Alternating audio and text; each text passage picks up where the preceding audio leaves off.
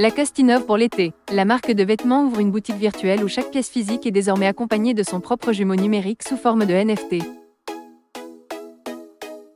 Nouveau record de vente pour un AF15 en qualité 7.5.